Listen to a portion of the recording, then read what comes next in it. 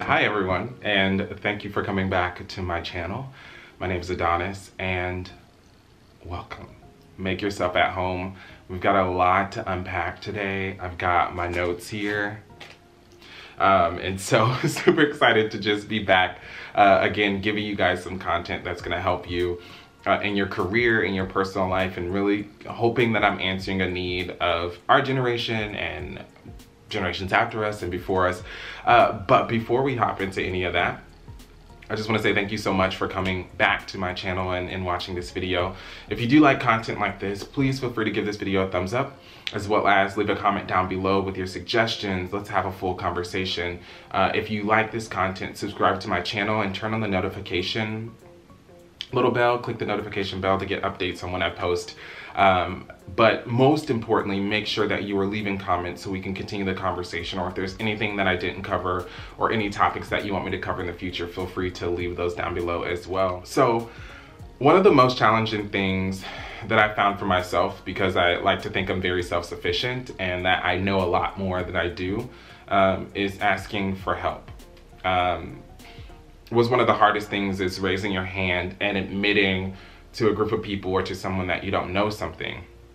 But I think that, that in order to grow and, and properly be um, an asset to whatever system or program or relationship that you're a part of is you have to understand the importance of just admitting ignorance uh, and admitting that you don't know something and, and, and talking about how to fill those gaps in order for you to be most efficient and most effective and in order for me to be most efficient and effective in my role and just so that we can continue to progress forward on a path that's actually knowledgeable rather than just pretending like we know something because faking it doesn't always make it. So making sure that we can unpack those things and be successful. The first thing that I have to do, and, and with my current job, I take on a lot of different hats and roles. And so I'm taking on a whole separate part of recruiting as well as taking on some responsibility with inclusion and diversity and, and walking in some of those lanes. And so for me, I have no idea what's going on. And so the first thing I had to do was acknowledge a weakness acknowledge the gap.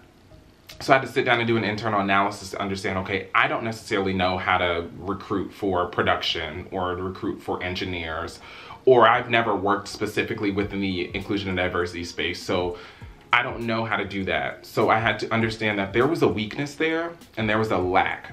That doesn't make me less than, or that doesn't make me um, inadequate, but that does make me have a gap between the requirement of knowledge for the role and what I do know.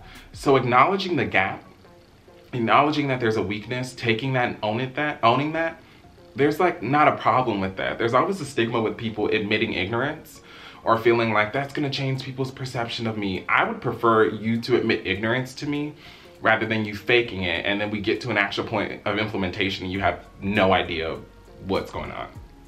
And can I get an amen in the back? Can I get an amen? Because being mediocre only works for a certain demographic. Once you've acknowledged that weakness, again, like I said, you gotta accept it. And you gotta say, okay, I own this and I am prepared to adequately assess where I am and where the gaps are. Super simple. Take accountability and own your process.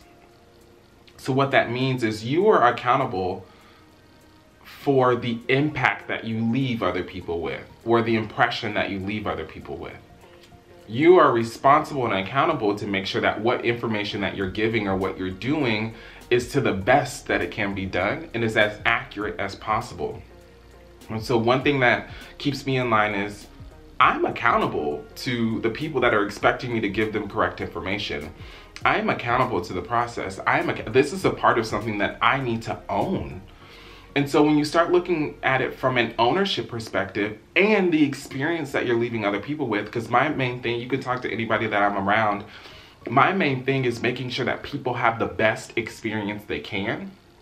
And also, when you're talking about the company or you're talking about me, leaving me with an experience that made them feel good about themselves or made them feel like they were heard, validated, um, and so that's super important to me and that's super valuable to me. And so acknowledging and being accountable for the experiences that you leave other people with is what's going to then drive you to raise your hand when you don't know something or drive you to ask the questions that are going to give you the adequate insight or just pushing you towards a growth metric or a growth opportunity that's going to push you outside of what you think you know and your own personal lived experiences and will put you in the driver's seat of experiences that are going to grow your impact as you move forward within the organization or the relationship or whatever. And once you understand impact to the community and the nature around you, that's going to funnel right back into ownership. So for me, I understand that the change I'm trying to implement within inclusion and diversity does not just impact me and my story,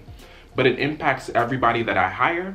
It impacts everybody that I am their HR liaison for, and it impacts everybody that I am um, representing in the conversation. You then start seeing it as less of a weakness and actually more of a strength. And so learning how to use that tactic to switch things that are historically seen as negative as it relates to your own personal growth and finding that positive. That leads me to the next point in uh, being intentional and insightful. Ask the right questions to the right people.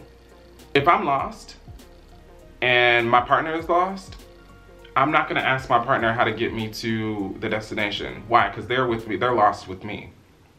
But what I am going to seek out is somebody who is skilled in that field, somebody who has experience in that field, and somebody who's available to give me the insight and resources that I need to be successful. And so it's being very intentional to ask the right people the right questions and not using asking the wrong people the wrong questions as a crutch for you to never ask questions again because they sent you to a wrong direction. I'll reverse that and say that one more time. Asking the wrong person the wrong question and then you getting a negative experience from that is not a crutch for you to never raise your hand and ask another question.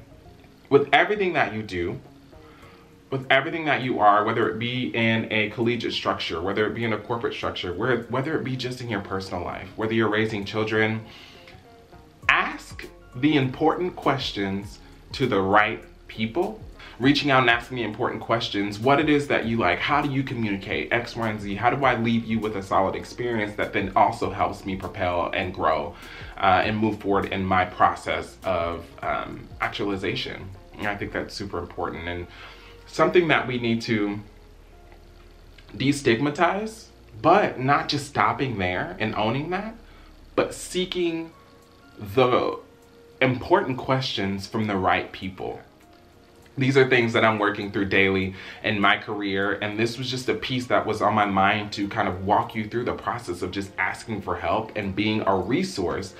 Then, in the process, being a more efficient and effective resource to then better the experience that people have for you and being more efficient and effective. So, guys, that is the end of the video. That's just a little bit of piece of my mind that I wanted to share with you. If again you like this content, make sure to give it a thumbs up, leave your comments down below, subscribe, turn on the notification bell to see when I post content. Again, sound off below. I wanna have a conversation surrounding this. Uh, and I will plan to chat with you guys soon. Um, have a great day. Thank you for all that you do. I love you. You are important. You are valuable. Stay on the pipeline of progress and growth, and we will all be great. So, gotta go play with the dog.